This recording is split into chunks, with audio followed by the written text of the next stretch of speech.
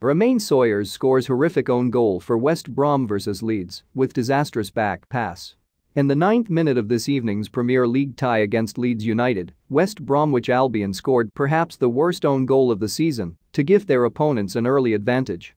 Grady Diangana played the ball back to Romaine Sawyers, the midfielder quickly realized the pressure from Rodrigo in his defensive third as he sent a pass back towards his own goal. Unfortunately, with Sawyers not having looked over his shoulder to check Sam Johnstone's position, the ball rolled into the back of the net with the stopper well away and unable to stop it doing so.